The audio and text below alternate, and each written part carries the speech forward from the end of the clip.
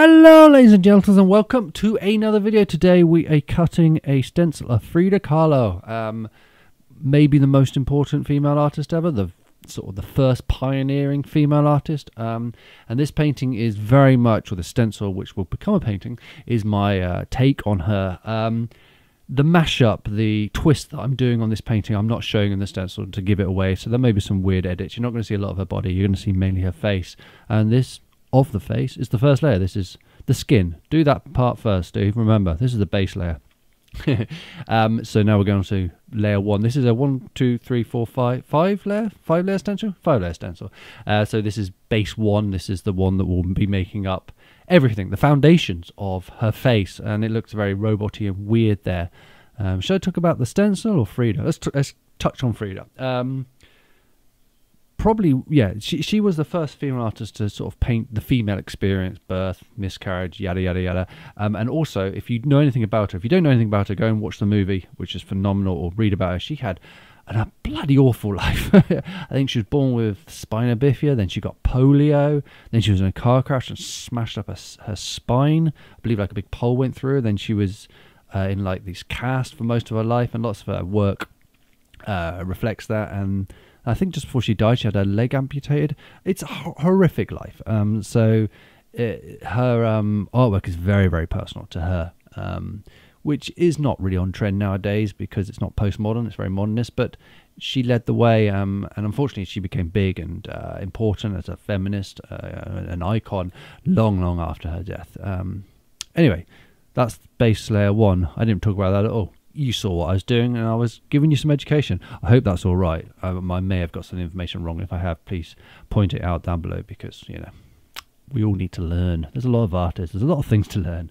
Uh, now we're going on to, I think I've put phase two there, so this is layer two. Um, I'll talk about the stencil. Doodling it out, as always, with my uh, trusty Posca pen. I usually use a Posca or a Biro. Biros are good because they you can push hard and get a little indent where you can run the knife along. Uh, then I'm cutting the stencil with my scalpel, which is a swan acrylic handle stencil, uh, stencil scalpel. Um, and right at the bottom of the scalpel, I've got lots of plasters wrapped around it because the blade always rubs my skin and brings the skin off. That's interesting, isn't it? Uh, so this layer is the next layer up. So this is the one that is taking the foundations and just moving it up a bit. So the bricks. Now we're on the bricks. um, she looks grumpy. I'm sorry, Frida. I didn't mean to make you look grumpy. Um, whoa, her chin looks big there. Looks like a Jimmy Hill chin. Only people from England who are over 30 will understand the Jimmy Hill reference. But um, there she is. She looks good. But yeah, the chin, once we bring the angle up better, there we go. That makes much more sense. Uh, this is the white layer, the uh, highlight layer. The, the, the, if you know my work, the, the swirly layer. Very quick one to cut. And also, what am I doing? I got really confused there. Sorry. There it is. That's the white layer, the highlight. Really quick and um, nothing really interesting to say about that. now we're on to the uh, pint of Coke, which is nice and healthy, and the black layer, the shadow layer, the detail layer, the main layer that brings it all together. Um, as you can see, it's very, how would you put it, thin, detailed. You, you use the point of the knife a lot, and this is with Frida is you know her, her trademark is her hair, um, her silhouette, um, and her, of course, her monobrow, which is very important.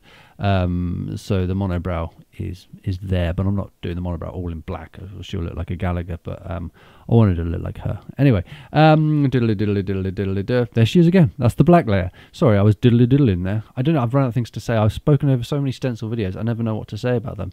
You draw what you want to do, and then you cut it out with a knife, and you make a big mess in your studio and walk bits of paper forever around, and they're always really sharp. Uh, the card, you'll ask about the card. Oh, oh, that's right. I forgot I did this. Okay, so I'm just putting them together.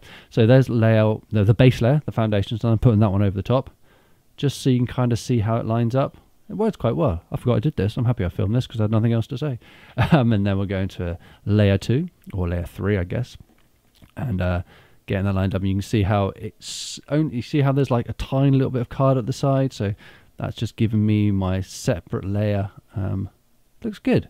And then we're going in with the, the black layer so layer 4 um, and laying that one over. And now you can kind of see how it should be. Maybe I should have put them the other way around but here we go. This is what they look like um, all together. Um, and this is the painting in theory. So you really have to take a leap of faith with stencils. You have to take a leap of faith that when you spray this or roller it or however you do it, that it's not going to look crap. You're really, really trusting what you've done before. Um, and there has been quite a few times when I've sprayed stuff, especially when I've done big live walls and something didn't line up, and that is a disaster. But you just have to be confident in figuring what the issue is, and then putting over the uh, white layer, which is the one I stuttered all over. Well, look at that massive beak. oh, guys, I'm worried about that now. I'm worried. Anyway, I hope you enjoyed this one. Go watch Frida, the film, and read all about it. And I shall see you in the next video. Take care. Bye.